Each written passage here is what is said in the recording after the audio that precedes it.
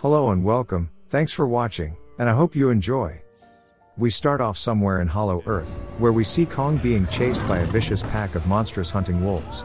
After running into a dead end, we find out he's actually set a trap for them. Once the dust settles, the remaining wolves start to close in. That is, until Kong raises one of them and tears it in half, giving himself a nice green gooey bath. Of course, the remaining wolves decide they want none of this monkey and retreat. After a nice bath using the local waterfall, Kong sits on the edge of a cliff and tries to enjoy his new meal, but notices a toothache. Just at that moment, we hear another roar in the background, startling Kong.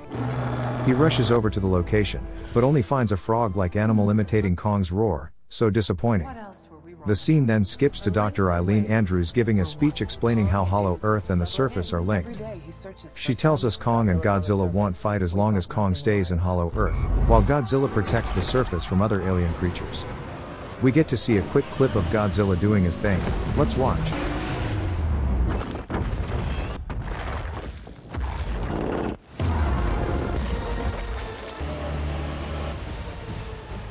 We then go to the Monarch Outpost 1 in Hollow Earth when they notice a sinkhole revealing uncharted territory. Back to the Hollow Earth access point where Dr. Eileen is shown some seismic readings, where she decides to send a survey team. We skip to the Monarch Base Academy where Gia is attending school.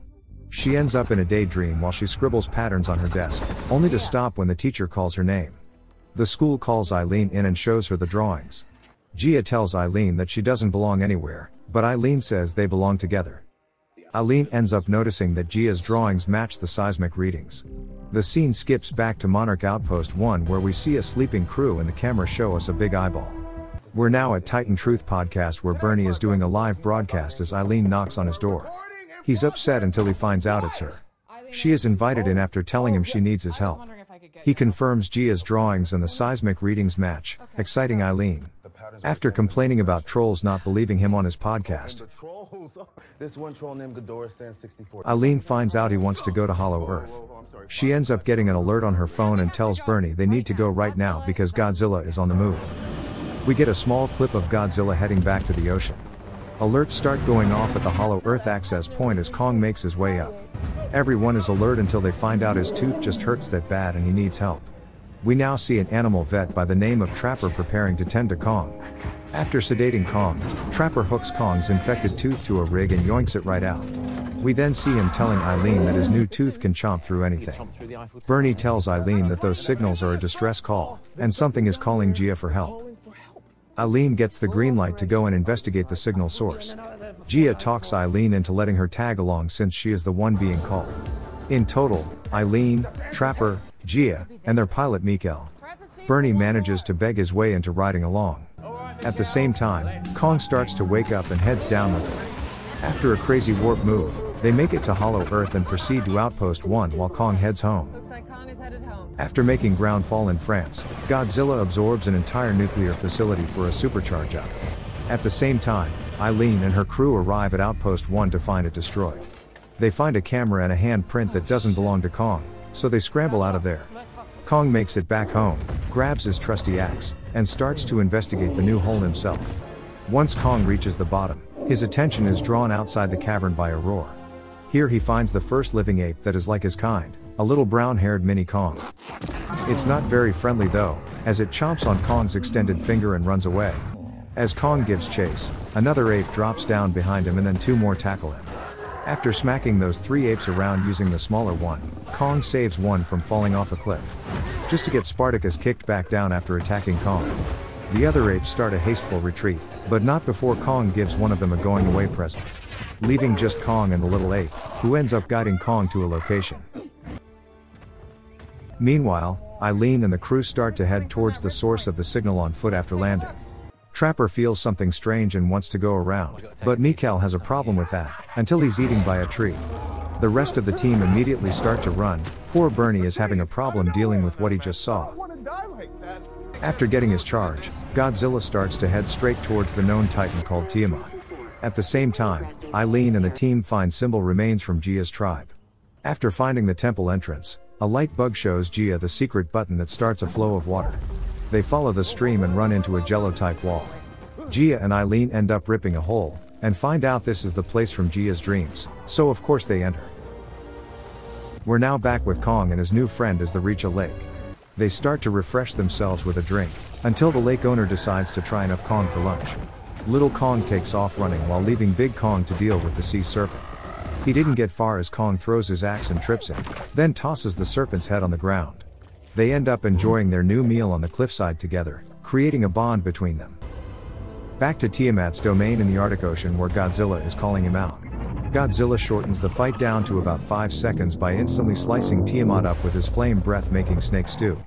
He enters Tiamat's lair after his victory, and then we get taken back to Eileen and the team getting caught by the Iwi tribe. They're taken to a temple, well now we know where they've been hiding all this time. Gia is introduced to the Iwi queen and discovers she's the key to awaking Mothra. Here we find that the signal source was the Iwi calling for help and this is why Godzilla has awakened. After the Iwi pour some glowing liquid, Hieroglyphs start to appear and we find the story of Scar King getting trapped in Hollow Earth by Godzilla, and he wants his revenge. Once reaching their destination, Kong notices his kind are being mistreated and forced into labor. After helping an older ape, Kong knocks one of the loud guards out with a simple jab. One of the apes report Kong to the Scar King, which we finally get to see. All the apes take a bow, all but Kong of course. After kicking one of the older apes into the lava pit, the fight starts between these two monsters. We have Kong and his axe, against Scar and his whip, let's watch. Please take a moment to give the video a like if you're enjoying it. Thank you so much.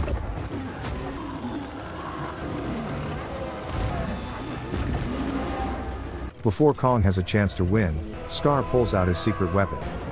Another captured titan named Shimo, that he forcefully controls using a crystal. After getting a major case of frostbite and losing his axe, Mini Kong shows Kong the way out before he's turned into a frozen statue. Kong escapes, but at the cost of losing his axe. We're back with Eileen where the start to finish reading the hieroglyphs. To find out the Iwi will be saved by one of their own kind, from Skull Island. Yup, they're talking about Gia. Kong is now on the run and uses multiple traps to outsmart some of his pursuers. Before they get to reach him, Mini Kong saves the day with Kong's trap. One of the apes make it out alive. Meanwhile Godzilla starts absorbing all of Tiamat's domain energy. The Kongs make it to the Iwi camp looking for help, but were followed. The ape returns and tells Scar King about the vortex in the Iwi camp. So they head off, including Shimo. But now Godzilla has finished charging Tiamat's energy. Trapper leaves to get a mechanical arm to add to Kong's arm for extra strength, which is stored at Outpost 1. He returns and releases an autopilot device that attaches itself to Kong's arm. He likes it, a lot. They finish just in time as Mini Kong comes to tell them Scar King is on his way. Gia tells Kong they need help, so he heads off to fetch Godzilla. He goes through a vortex and ends up in Cairo, Egypt. After a loud roar from Kong, Godzilla starts to head off in his direction. Meanwhile, Gia walks to the top of the temple and revives Mothra. Mothra heads to the surface and Trapper has a crazy idea for bringing reinforcements. This idea is way weirder than that. Godzilla makes it to Kong, but pays no attention to the fact that he wants Godzilla's help. Let's watch. Please take a moment to give the video a like if you're enjoying it. Thank you so much.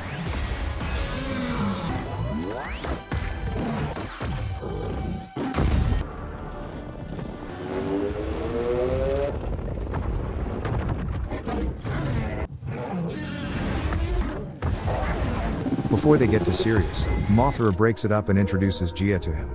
Now he gets it. They're here. The Scar King has arrived at the Iwi camp and uses Shimo to stop the portals from closing. But Trapper also arrives, with his reinforcements. And then Kong with his new ally, Godzilla. After the temple's gravity kicks in, we get a nice flying rock fight between them.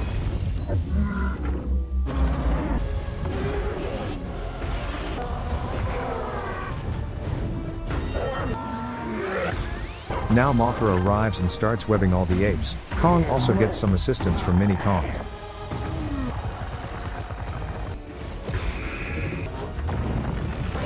Gravity kicks in and ends up sucking all four of them through the vortex, Kong losing his axe in the process. We're taken to Rio de Janeiro where they end up falling from. Scar King's first move is to freeze the sun, but then Kong wakes him up with a punch, knocking out a tooth. Now it's 2 versus 2 on the surface.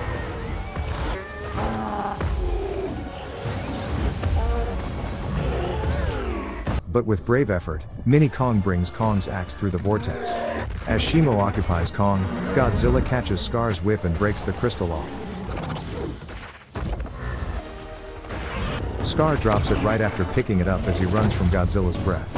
Him and Kong struggle to reach the crystal, until Mini Kong comes and breaks it using the axe, freeing Shimo. Kong knocks the crap out of Scar King before he has a chance to harm Mini Kong. Then he gets frozen solid by Shimo as Kong holds him up.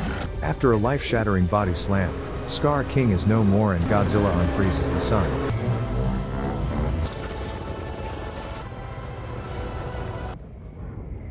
Mothra returns Gia back to Eileen, who thinks Gia will be staying, but to her surprise, Gia says they belong together.